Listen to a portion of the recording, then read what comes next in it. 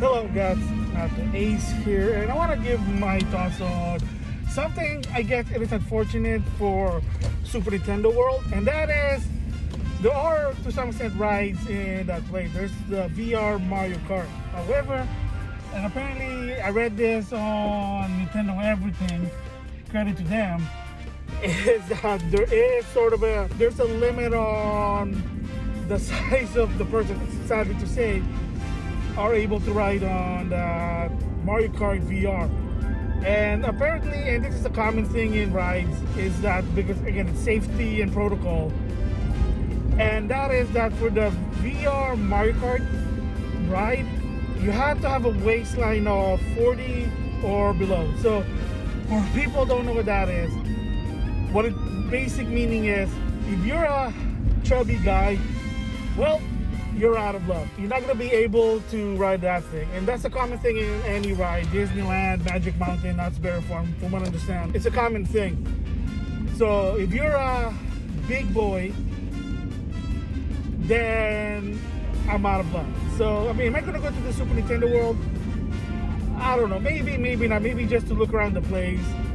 But it would be interesting to try the Mario Kart VR. But if they're saying that, hey, look, you know, that if you're a big guy, then I'm out of luck. I can't be there because probably the their seatbelt mechanic is not gonna fit me. So again, it kind of sucks to some extent, but I sort of understand that it is standard and safety protocol because I mean it is what it is. I mean of course I'm getting too old because I remember a similar situation, but not with the ride, but with Wii Fit the Wii Fit Down Sport. So long time ago, I bought it for thirty dollars, and when I try to use it, unfortunately, there is a weight limit to it. So I read up in the internet, and they're like, uh, "Yeah, there's a problem to it. That if you're a big guy, you're out of luck." So I even try to manipulate the board so like I can like try to be light to the best of my ability, but that didn't really work to some extent. And then, of course, now there's Ring Fit Adventure, which is sort of a pseudo sequel to it. But yeah, it is sort of unfortunate sometimes. Company, I mean, again, I can understand why it's safety protocol.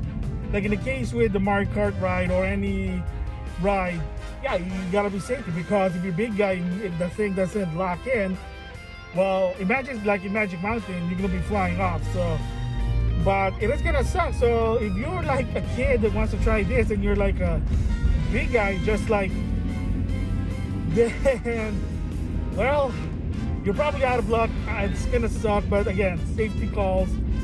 I guess it goes with the Wii Balance Board because you know you don't want to be stepping on it. And suddenly you hear cracks on your board especially when it first released for a hundred dollar MSRP that's gonna suck but yeah, I mean, in the case with those exercise game from Nintendo, they are changing like the Wii Fit Adventure, which is just a ring rather than a board. So, I mean, Nintendo's actually like kind of being like, yeah, we're consider it with the other consumer. But in the case with the ride, well, yes, you can't do anything about it. Like my thoughts about that one is, it is kind of unfortunate.